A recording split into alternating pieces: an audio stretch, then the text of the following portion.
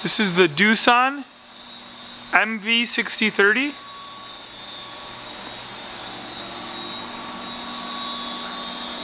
Fanuc 21IMB CNC control.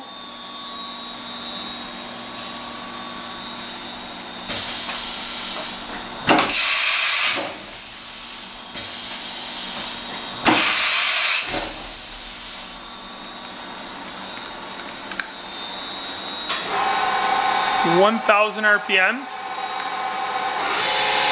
two thousand RPMs, 3,000 RPMs,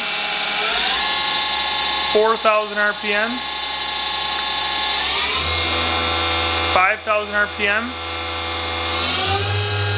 6,000 RPM.